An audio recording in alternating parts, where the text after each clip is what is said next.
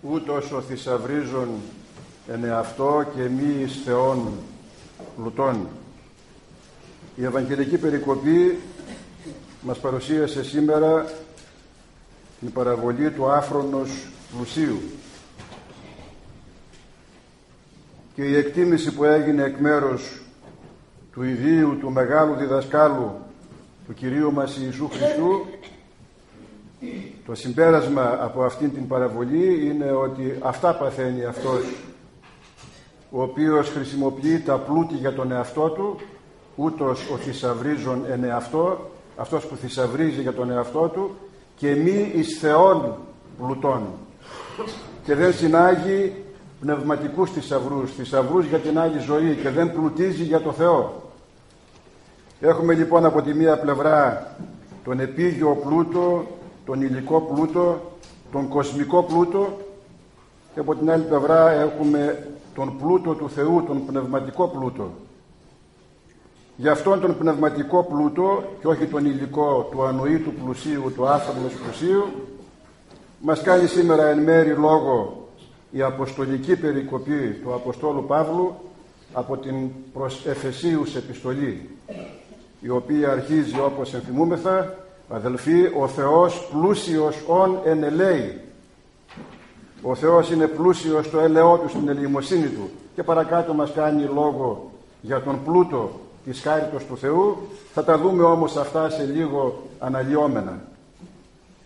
Επειδή όμως πρόκειται κατά το τρέχον έτος για πρώτη φορά να ασχοληθούμε με περικοπή από την προσεφεσίους επιστολή του Αποστόλου Παύλου όπως κάνουμε με όλες τις σχετικές επιστολές του Αποστόλου Παύλου ας πούμε εισαγωγικά δύο λόγια για την Έφεσο και για το περιεχόμενο γενικά αυτής της επιστολής και θα έρθουμε στη συγκεκριμένη περικοπή όσο προλάβουμε όσα δεν προλάβουμε θα τα συνεχίσουμε κάτω στο Αρχονταρίκι με βάση τον Άγιο Ιωάννη τον Χρυσόστομο όπως πάντοτε κάνουμε εδώ στην ερμηνεία των επιστολών του Αποστόλου Παύλου. Η Έφεσος λοιπόν είναι η μεγαλύτερη πόλη της Μικράς Ασίας η πρώτη και μεγίστη ήταν κατά τους Ρωμαϊκούς χρόνους η πρωτεύουσα και η Μητρόπολη της Ανθιπατικής Ασίας επιρωμαίων αλλά επίσης είναι και μία από τις 12 μεγάλες ελληνικές απικίες της Μικράς Ασίας. Στην Έφεσο υπήρχε ένας πολύ μεγάλος ναός, ο ναός της Θεάς Αρτέμιδος, τον οποίο συνέριαν πλήθη προσκυνητών και από την Ασία και από τα νησιά της Μεσογείου. Λόγω λοιπόν της μεγάλης εισακμής του πλουσίου εμπορίου αλλά και της παιδείας ήταν μια πάρα πολύ σημαντική πόλη η Έφεσος. Ο ναός μάλιστα της Αρτέμιδος τον οποίο μνημονεύσαμε θα το ενθυμίσετε όλοι από την εγκύκλιο παιδεία σας συγκαταλέγεται ανάμεσα στα επτά θαύματα της αρχαιότητος.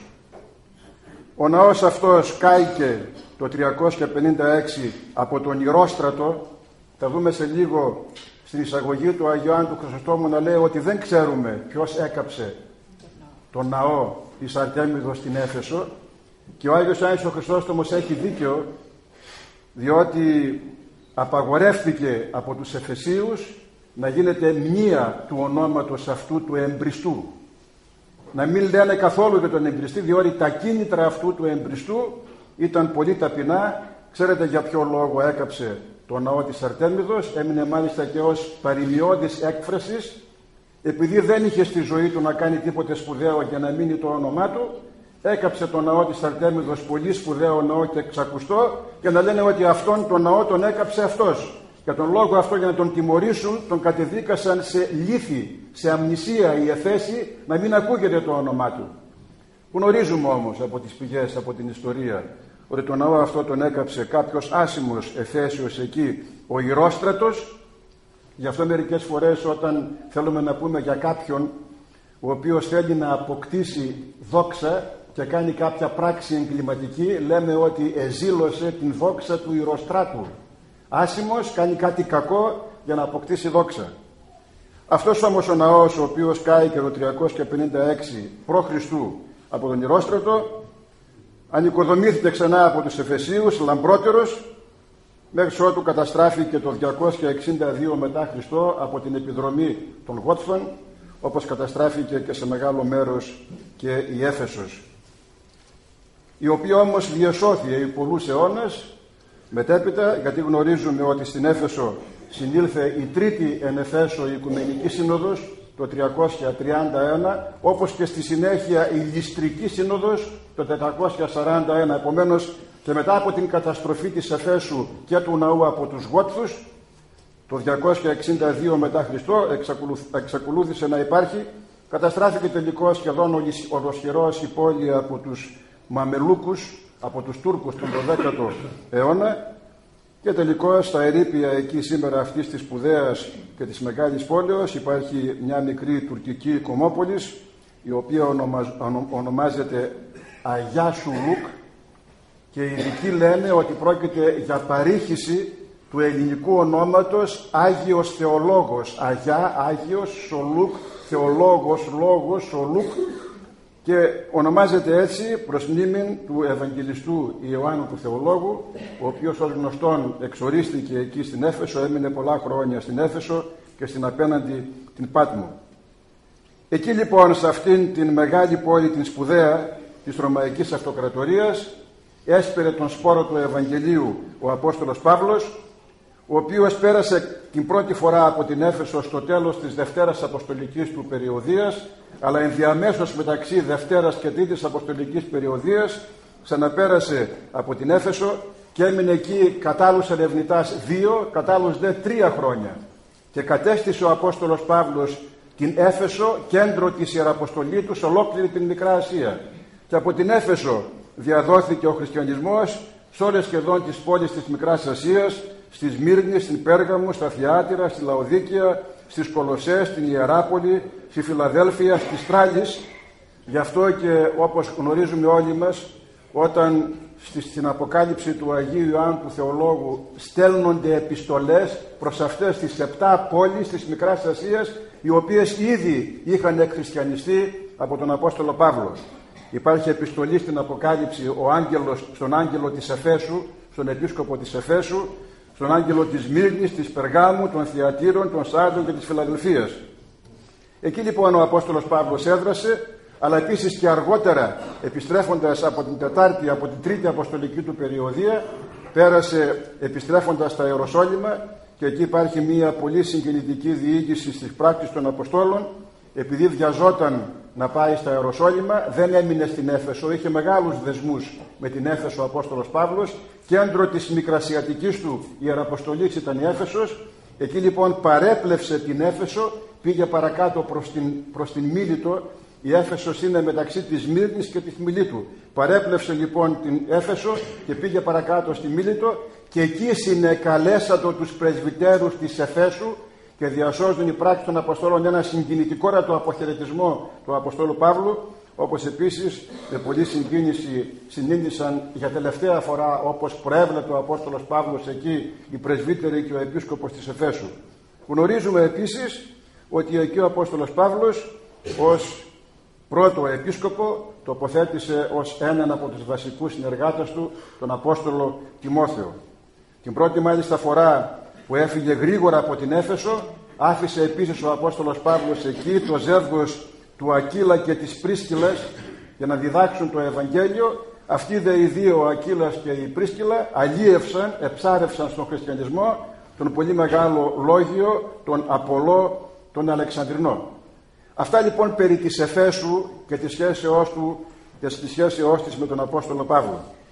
Τώρα η επιστολή προς Εφεσίους χαρακτηρίζεται ως μια επιστολή εγκύκλειος. Δηλαδή δεν στέλνεται ειδικό σε μια εκκλησία της Εφέσου επειδή υπήρχαν κάποια προβλήματα εκεί, τοπικά προβλήματα ή επειδή ο Απόστολος Παύλος συνήντησε εκεί στην Ιεραποστολή κάποια προβλήματα και προσπαθεί να τα επιλύσει τα προβλήματα όπως συνέβη με την Κόρινθο, με τις Κολοσσές, με τη Θεσσαλονίκη. Η προς Εφεσίους επιστολή είναι μια γενική επιστολή, μια εγκύκλειος επιστολή η οποία στέλνεται όπως διαπιστώνουν οι ερμηνευτές και οι ειδικοί στέλνεται προς όλες τις εκκλησίες της Μικράς Ασίας επειδή όμως η Έφεσος ήταν κέντρο της Μικράς Ασίας αναλαμβάνει η Έφεσος την αποστολή και την διανομή της Γι' αυτό μέσα στα χειρόγραφα διασώθηκε της Ούση εν Εφέσο. Από την Έφεσο διακινείται αυτή η επιστολή, απευθύνεται επομένως και προς τους Φιλιππισίους. Ο Άγιος Ιωάννης ο Χρυσόστομος έχει μια πολύ καλή εισαγωγή σχετικά με την προσεφεσίους επιστολή και μας λέει τα εξής. Η Έφεσος λέει είναι της Ασίας Μητρόπολης και η Έφεσος ήταν αφιερωμένη στην Αρτέμιδα και εκεί την σεβόταν την Αρτέμιδα ως μία από τις μεγαλύτερες θεές και είχαν λέει τέτοια δυσιδαιμονία αυτοί οι οποίοι τιμούσαν την Αρτέμιδα και το σάφτη δυσιδαιμονία η ταύτην τιμώνται σε κέχριντο ως μηδέ τούνομα των των ναών αυτής εμπρίσαντος ποιής σε φανερών τόσο πολύ σεβόταν την Θεά Αρτέμιδα ώστε δεν ήθελαν να κάνουν γνωστό και το όνομα αυτού ο οποίος ενέπρισε, επέτρεψε τόσο αδύναμη είναι η Θεά και επέτρεψε κάποιον να βάλει φωτιά, ενεπρίστηγαρ, γιατί κάει και ο ναός. Μας λέει επίσης ότι και ο Μακάριος, ο Ιωάννης, ο Ευαγγελιστής, έμεινε πολύ καιρό στην Έφεσο, γιατί ξορίστηκε εκεί και ετελεύτησε, λέει, εκεί. Και επίσης εκεί άφησε ο Απόστολος Παύλος τον Τιμόθεο.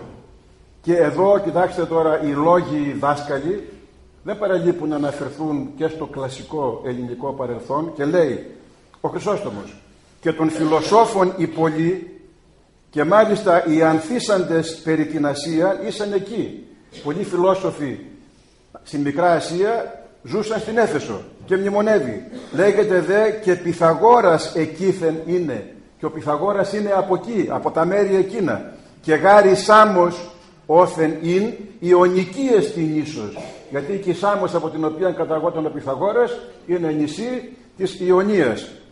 Τους δε περί Παρμενίδιν και Ζήνονα και Δημόκριτον και πολλούς έτη και νυν έβριτοι σαν φιλοσόφους εκεί αυτοί δε οι περίφημοι Ιώνες φιλόσοφοι ο Παρμενίδης, ο Ζήνων, ο Δημόκριτος και πολλοί άλλους ακόμη και σήμερα θα βρει στην Έφεσο την εποχή που ζούσε ο Άγιος Ιωάννης ο Χρυσόστομος θα βρουν πολλούς εκεί να υπάρχουν και να φιλοσοφούν. Αυτά δεν σας τα λέω, λέει ο Άγιος Ιωάννης ο Χρυσόστομος εισαγωγικός, αρχίζοντας να ερμηνεύει την επιστολή, όχι έτσι χωρίς λόγο, απλώς, αλλώστε δείξε, για να δείξω ότι πολλής έδι το Παύλος σπουδής προς εκείνους γράφονται. Απευθυνόμενος ο Παύλος προς τους Εφεσίους με τέτοια παράδοση παιδείας και φιλοσοφίας έπρεπε να είναι πολύ προσεκτικός και όντως η επιστολή είναι πολύ καλογραμμένη και έχει όπως θα δούμε πολύ υψηλά θεολογικά νοήματα. Λέγεται δε και τα βαθύτερα των νοημάτων αυτής εμπιστεύσε. Λέγεται ότι στους Εφεσίους εμπιστεύθηκε ο Απόστολος Παύλος τα βαθύτερα από τα πνευματικά νοήματα. Έστι δε νοημάτων μεστή η επιστολή υψηλών και δογμάτων. Και η επιστολή είναι γεμάτη από νοήματα υψηλά και από δόγματα. Και παρακάτω επίσης συμπληρώνει Άγαρ μηδαμού σχεδόν ευθέξατο, ταύτα εν ταύτα δειλή. Αυτά που δεν τα έχει παλού πουθενά ο Απόστολος Παύλος, αυτά τα λέει εδώ και μνημονεύει μερικά θέματα τα οποία ο Απόστολος Παύλος δεν τα μνημονεύει αλλού. Έχουμε λοιπόν αυτήν την πολύ σπουδαία επιστολή του Αποστόλου Παύλου, της οποίας στο περιεχόμενο, για να μην σας ταλαιπωρήσω πολύ, διαιρείται σε δύο μέρη. Στο ένα μέρος το πρώτο τα τρία πρώτα κεφάλαια, έξι κεφάλαια έχει προς Εφεσίους επιστολή, τα τρία πρώτα κεφάλαια είναι το δογματικό μέρος. Στο μέρος αυτό σύντομα ο Απόστολος Παύλος παρουσιάζει το μυστήριο της σωτηρίας και της απολυτρώσεως την εκ μέρους του Κυρίου ημών Ιησού Χριστού ανακεφαλαίωση των πάντων. Είναι θεολογικό μέρος και μιλάει περί του μυστηρίου της απολυτρώσεως το οποίο ενήργησε ο Ιησούς Χριστός βέβαια σε συνεργασία με τον Πατέρα και το Άγιο Πνεύμα. Το δεύτερο μέρος είναι πρακτικό της επιστολής και είναι ισομερές τρία κεφάλαια δογματικό θεολογικό, τρία κεφάλαια πρακτικό μέρος. Εκεί ο Απόστολος Παύλος δίνει συστάσεις στους Εφεσίους, ιδιαίτερα μάλιστα μέσα στις συστάσεις αυτές κάνει λόγο για το πώς πρέπει να υπάρχει μέσα στην οικογένεια ειρήνη και αγάπη, για το πώς πρέπει να συμπεριφέρονται οι σύζυγοι μεταξύ τους, για το πώς πρέπει μεταξύ τέκνων και γονέων να υπάρχει σύμπνοια και ενότητα και ακόμη κάνει λόγο και για τη συμπεριφορά των δούλων. Τέτοια παρόμοια θέματα πρακτικά αναπτύσσει στο δεύτερο μέρος της επιστολής. Η γνωστή μάλιστα περικοπή σε όλους μας, την οποία ακούμε στην ακολουθία του γάμου, το μυστήριο του το μέγα εστί εγώ δεν λέγω μήνες Χριστών και στην Εκκλησία οι άνδρες αγαπάτε τις γυναίκες οι γυναίκες να υπακούετε στους άνδρες κτλ. είναι από αυτήν την προσεφεσίους επιστολή. Ας αφήσουμε λοιπόν τα γενικά και ας έρθουμε σήμερα στην περικοπή την οποία ακούσαμε προηγουμένως εδώ αναγνωσκομένη από το ψαλτήριο. Δεν θα σας πω την προηγουμένη συνάφεια, θα σας πάω απευθείας στη συνάφεια της περικοπής η οποία αρχίζει από τον τέταρτο στίχο του δευτέρου κεφαλαίου και θα σας πω μόνον τους τρεις-τέσσερες πρώτους στίχους του κεφαλαίου του δευτέρου για να καταλάβουμε τη συνάφεια των όσων λέει ο Απόστολος Παύλος. Αρχίζοντας λοιπόν ο Απόστολος Παύλος το δεύτερο κεφάλαιο λέει σας διαβάζω το κείμενο όλο μαζί με τη συνάφεια και την περικοπή σας κάνω μια σύντομη ερμηνεία του και ερχόμαστε μετά να δούμε μερικές σκέψεις του Αγίου Ιωάννου του Χρυσοστόμου. Λέει λοιπόν, λένε οι τρεις πρώτοι στίχοι από τον τέταρτο άρχισε η σημερινή περικοπή και ημάς με ύψιλον και ημάς όντας νεκρούς της παραπτώμαση και τες αμαρτίες ενές ποτέ περιεπατήσατε κατά τον αιώνα του κόσμου τούτου κατά τον άρχοντα της εξουσίας του αέρος του πνεύματος του νυν ενεργούντος εν της της απειθίας ενείς και εμείς πάντες ανεστράφημεν ποτέ εν τες επιθυμίες της σαρκός ημών ποιούντες τα θελήμερα της σαρκός και των διανιών και ή μεν τέκνα φύση οργής ως και η λυπή. Και αρχίζει η σημερινή περικοπή. Ο δε Θεός πλούσιος ον ενελέει δια την πολλήν αγάπη αυτού είναι η αγάπη εν ημάς και όντας ημάς νεκρούς της παραπτώμασης συνεζωποίησε το Χριστό χάρητη εστέ σε σωσμένη και συνήγηρε και συνεκάθισεν εν της επουρανής εν Χριστώ Ιησού ή να ενδείξετε εν της αιώση της επερχομένης τον υπερβάλλοντα πλούτων της χάριτος αυτού εν Χριστότητη εφημάς εν Χριστώ Ιησού. Τη γάρ χάρητη εστέ σε σωσμένη δια της πίστεως και τούτο ουκ εξημών Θεού το δώρον ουκ εξέργων ή να μην τις καυχήσετε αυτού γάρες μεν ποίημα κτιστέντες εν Χριστώ Ιησού επί έργης αγαθής εις προετοίμασεν ο Θεός ή να εν αυτής περιπατήσουμε. Λέει λοιπόν με την αρχική συνάφη ο Απόστολος Παύλος και εσάς Κορίνθοι, Εφέσοι οι οποίοι προέρχεστε οι περισσότεροι από τους ιδρολάτρες γιατί ήταν μια κατεξοχήν ελληνική ιδρολατρική πόλη η Έφεσος κατεξοχήν με ελληνικό πληθυσμό.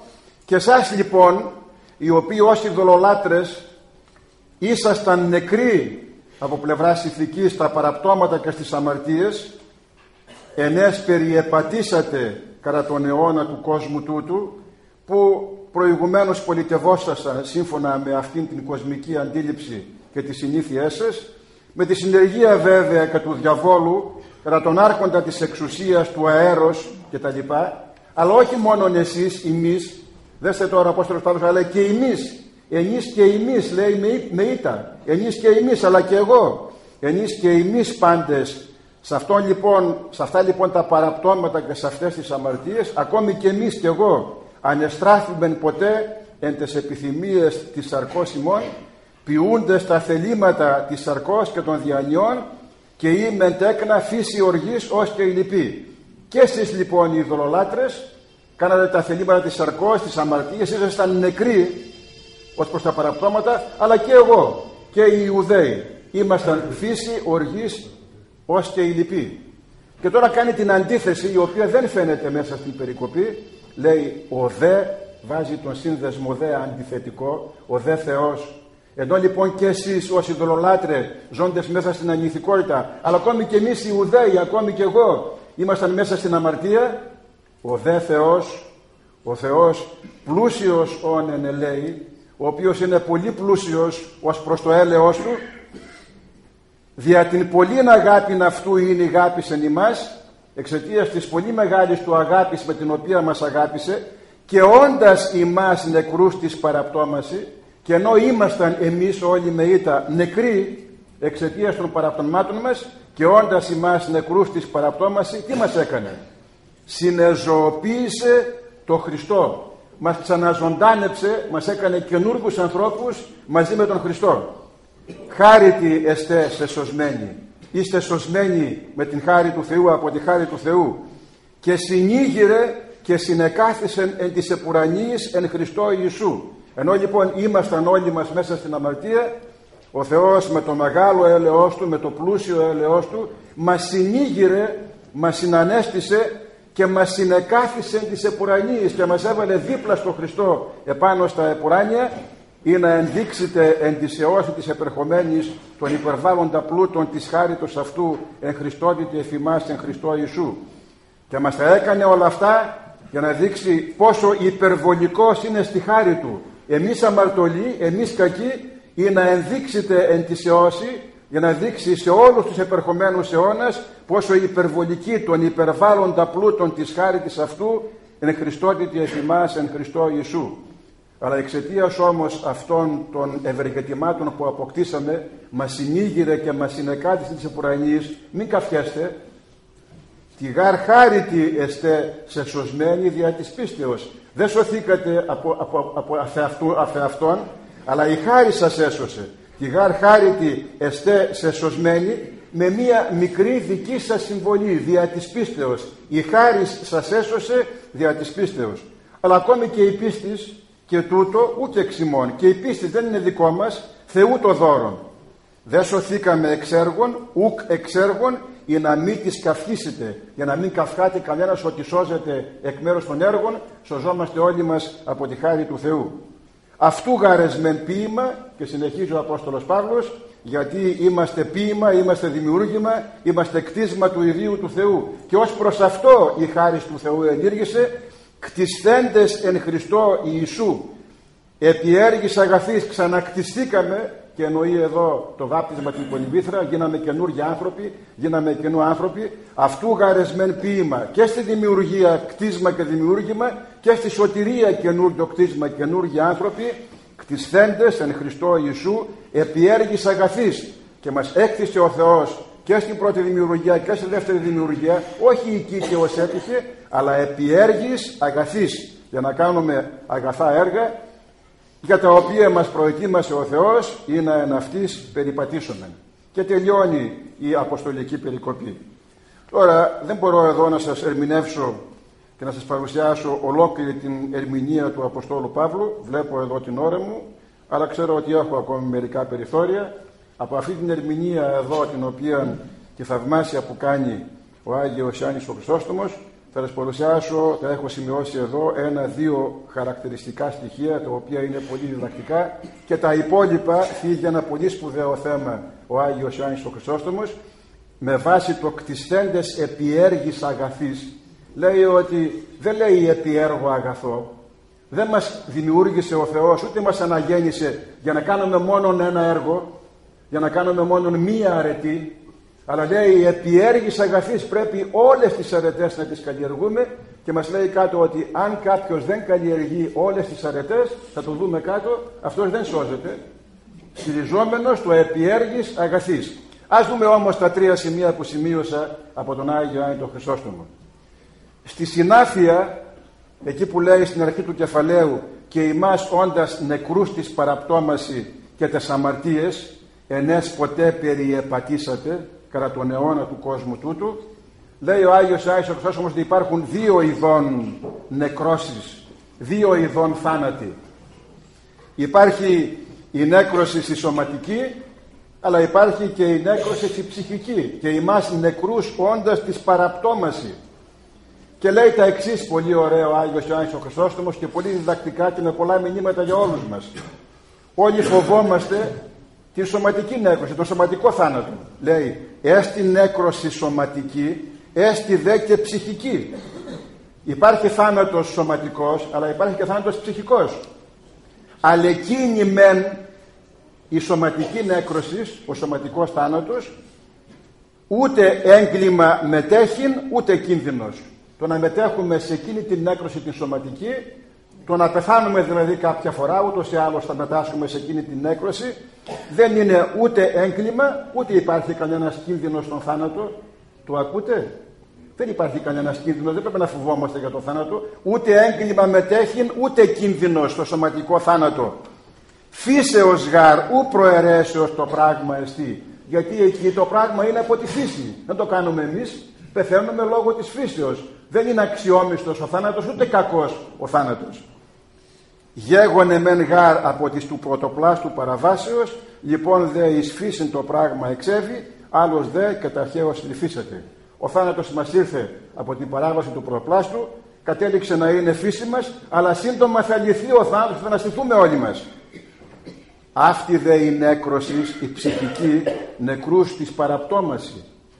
Το λέει και παρακάτω, νεκρούς. Αυτή όμως η νέκρωση, αυτός ο ψυχικός θάνατος, όσοι ζουν μέσα στην αμαρτία είναι νεκροί πνευματικά, είναι θανατωμένοι, έχουν υποστεί πνευματικό θάνατο.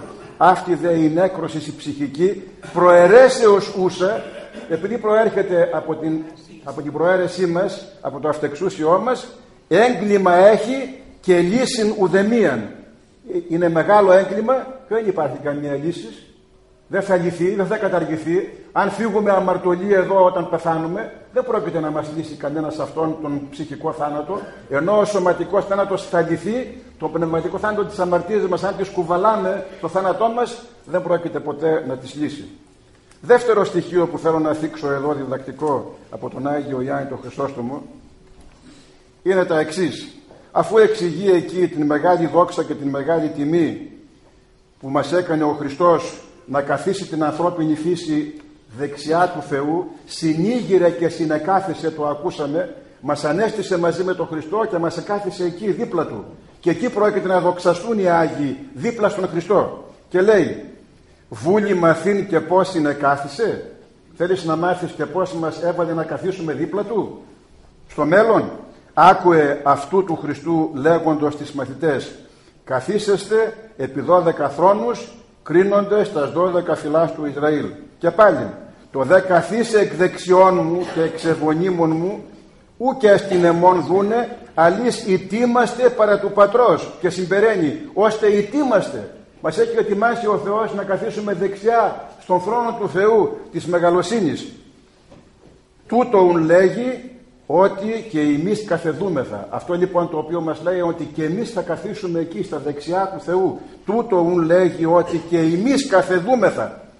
Και συμπεραίνει ο Άγιος Άγιος ο Χρυσόσωμος και είναι το δεύτερο δίδαγμα το οποίο θέλω να μας μείνει.